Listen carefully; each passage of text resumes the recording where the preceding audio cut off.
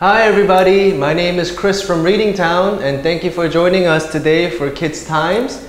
Now today's topic is going to be something that's very big and white and very wet. Sometimes it's very scary, sometimes it's nice looking and it's in the sky. Well, it's going to be clouds. So we're going to talk about nice weather clouds and very bad weather or storms or rain clouds. So clouds tell us a lot about the weather, right? The weather is, is it snowing, is it raining, or is it shine, uh, sunny?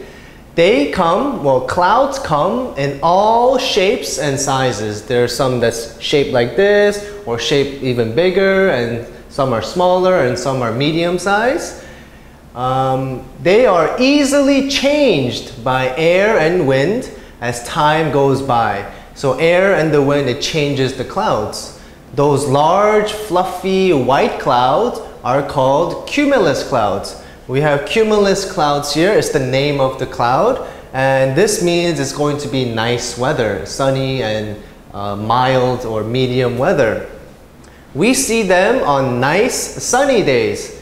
But, however, thunderstorm clouds, thunder is what we hear when we see lightning and is very scary clouds called cumulonimbus clouds over here are very tall, dark, and angry.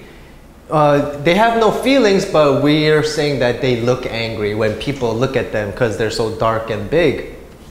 These clouds tell us a storm is coming soon. So when we see these dark clouds, the cumulonimbus clouds, we know that, oh, it's going to rain soon or it's going to be a storm soon. So you must get your umbrellas ready if you see these kind of clouds. All right, we're gonna review three questions here. A, clouds come in all blank and blank. So there's many different kinds of clouds and the way they look and are they big or are they small so the first one is shapes and the second one is sizes. So they come in all shapes. So maybe a circle or maybe in an egg shape or maybe in a line shape, right? And sizes means how big is it? Is it a big one or is it a small one? B, we see blank clouds on nice sunny days. So again, we were talking about the, you know, the nice cloud looking picture where it was sunny and it was in the daytime and it looked very pretty. And we have the names of those two clouds. The first cloud, the name was a cumulus cloud. I know this is a very new word and long word for you, but it's just the name that we must learn about these clouds. See, um, a storm is probably coming if we see blank clouds. So the cumulus clouds, it was for the nice looking clouds, the nice weather, sunny weather. And on the opposite side, where it was very dark and it was very angry and it looked like it was going to rain, well, they, it has a name too. We call it the cumulonimbus cloud. So these are nice happy clouds and very dark and angry, rainy, stormy clouds. Okay, we have three review, I guess, grammar points here. A, clouds blank us a lot about the weather. So we have the subject here, clouds, right? And what, how are they related? Well, we can study the clouds and we can um, know the weather. Is it going to be nice weather or bad weather? And we have to notice here that we're talking about many clouds or all clouds. We see the S here, right? So we're talking about all the clouds in the world and it's many. So we want to choose the right verb here and it is tell because when we have many subjects, we do not put the S here. So we say clouds tell, uh, cats tell, or brothers tell, right? For this one, it has a S here, and we use this verb when there's only one thing. So if we say one cloud tells or one cat tells, right? So for this one, it's when we have many things, right? And for this one, it's when we only have one thing. We're talking about one thing. For this one, we need a be verb. So we have to say, clouds are telling us, or cats are walking.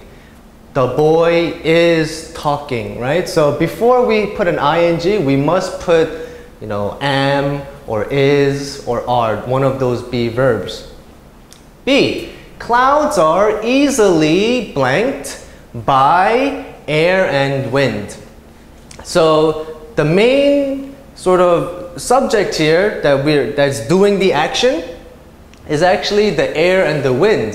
What the air and wind does is they're the main action makers and they are, you know, doing the action to the clouds. So the clouds are getting the action, right? They are getting the change.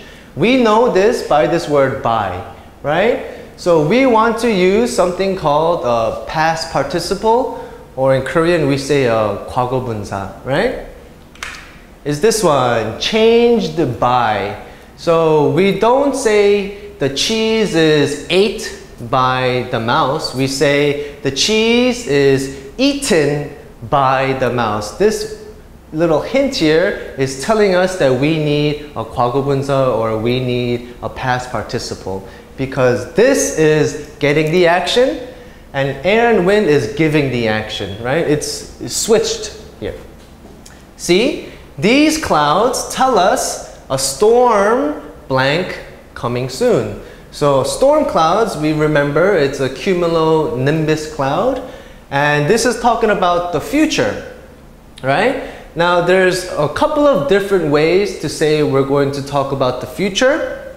And the first one, let's go here, is coming soon. So if we put an ing at the back of the verb, at the back of the 동사, then we know it's going to the future. I am swimming soon.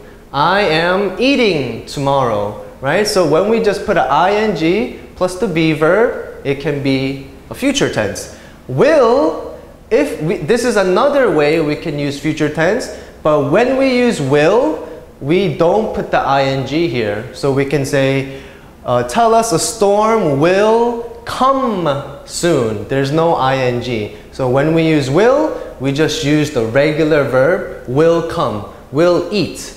We don't say will eating or will talking. We say is talking, am walking, like that. Okay? So again, uh, we learned about the clouds today, right? There's more than these two clouds. There's very high clouds and very low clouds.